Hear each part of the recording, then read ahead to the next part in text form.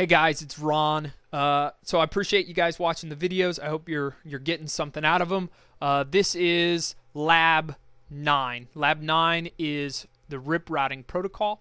Uh, so in the last video we did static routing. Now we're going to get our first taste of a dynamic routing protocol. Uh, so RIP is a distance vector routing protocol, which means it uses distance and direction. So I'm, when I do my advertisements, I'm going to say uh, something to the effect of this interface uh, one hop or something along that lines. Okay, so my metric for uh, for RIP is that hop. How many hops do I have to go to uh, to get to this uh, network? All right. So we have two versions of RIP: version one and version two. Version one is an old one. Uh, version or RIP to begin with is hardly used anyway. But there are some special cases. Version 1 of RIP is hardly ever used. And that's because version 1 is classful. It does not include uh, the subnet information. All right? So that means uh, the network that you have sitting in front of you uh, is not going to work because, you know, I've subnetted all over the place.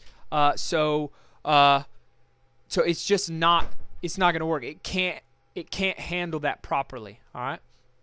Also, it's going to use broadcasts to send those announcements, which means that everybody along that line has to stop what they're doing, listen to the announcement, whether or not they care about RIP or not. All right. So when RIP v2 came out, they fixed those things. They added the subnetting information in there, making making it classless, and they changed it from a broadcast to a multicast. So now it goes out as 224.0.0.9, which means that only those people that are subscribed to that multicast group get it and care about it. All right. As I said before, dis, uh, distance uh, vector routing protocol, uh, and it uses hop count as its primary metric. And in the case of RIP, it can only do a max hop count of 15, which means anything beyond 15 it can't get to, right? So that limits the the size of the network that you can build, um, which is good because we're, we're sending out these massive announcements every 30 seconds by default with RIP. All right. Now, there's two concepts uh, we need to quickly talk about, and that's route poisoning and split horizon. So, in order for RIP to avoid loops and things of that nature, uh, they implement route poisoning and split horizon. All right. Route poisoning was if this network goes down, I'm going to advertise out that that network has a hop count of 16. And because uh, RIP had a max hop count of 15. That means you cannot reach the network. So this keeps other people from saying, well, yeah, you can't get to it from router C anymore, but I still know how to get to it, and it's this many hops away. By sending out a 16, it kills all of those. All right. Uh, then we have this thing called split horizon. Split horizon means that if I advertise out, or if router B advertises out this network to router A, router A isn't going to repeat that announcement back to it over the same link.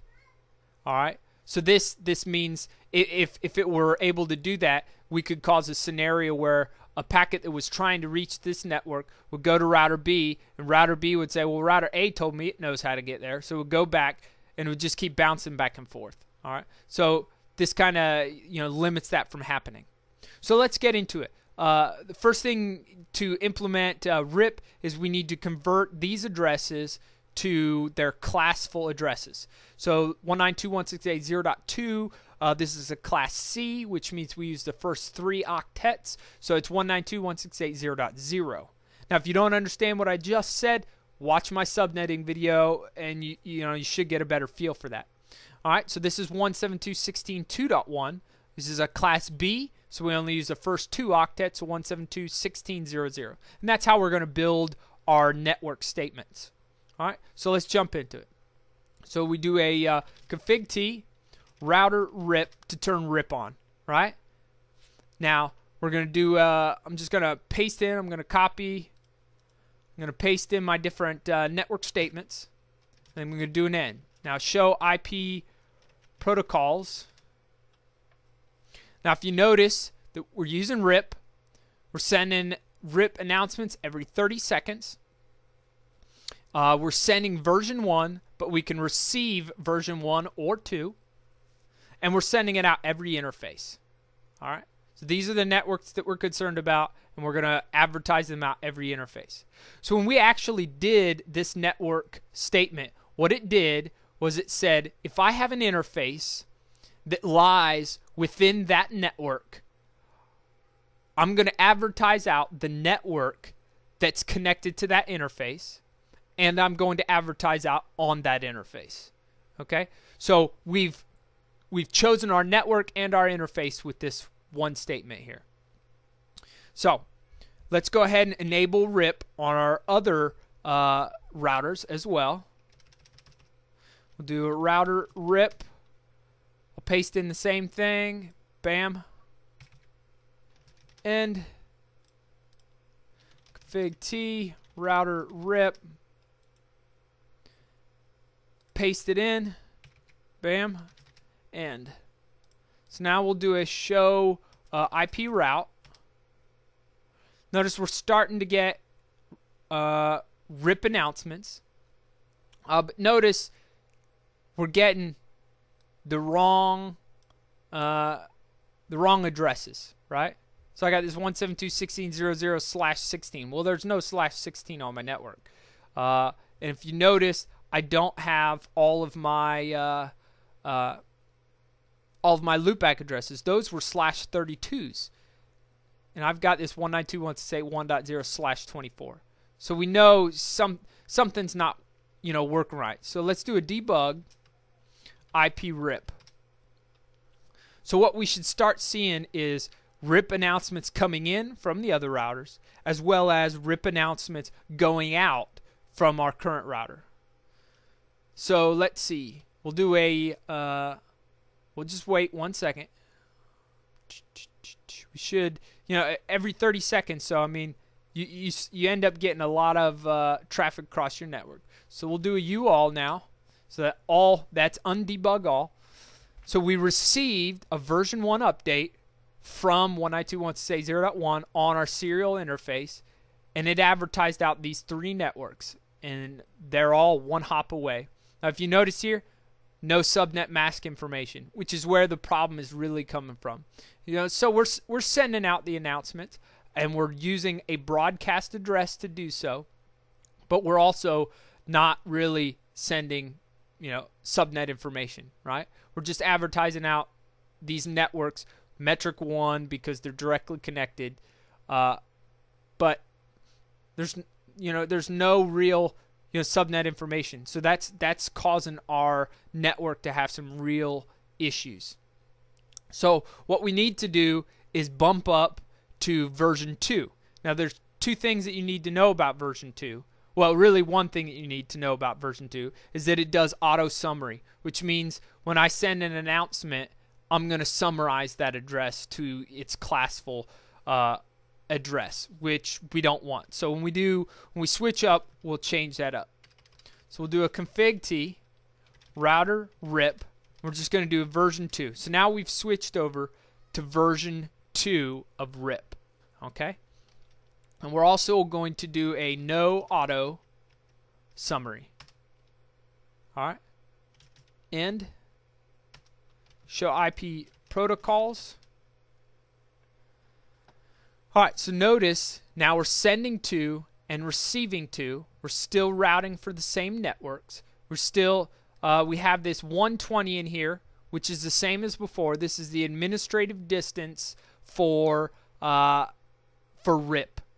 When we did the static routing uh, lab, we, we made sure we had a, uh, an administrative distance of 150. So now if we were to get an advertisement in for one of the networks that was identified with our static route, this would override it because it has a lower administrative distance.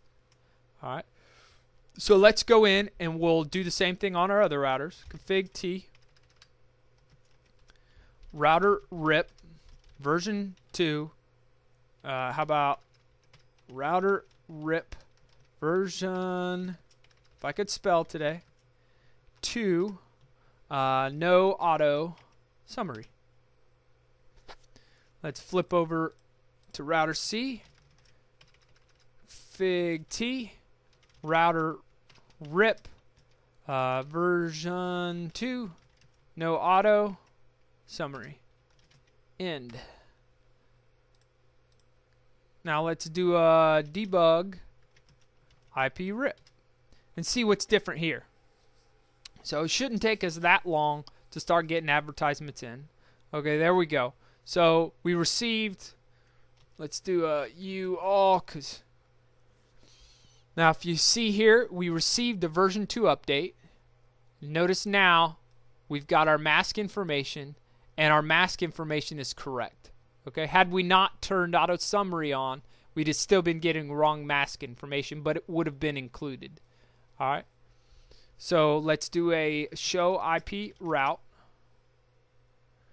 And notice now 1.1, 1.3, these are our loopback addresses, and they are slash 32s. All right. So we should be able to ping 192.168.1.3. All right. So RIP it, v2 is working, you know, the way that it should. All right.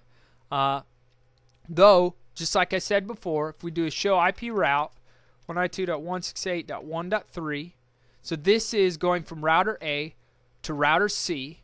Notice that it's going there via serial 00. So if we bring the diagram back up, to get from here to this loopback address, it's using serial 00. So it's going to send it on that 256K link because it says that's a hop count of 1, which is a better route than a hop count of 2, even though this is actually the better route.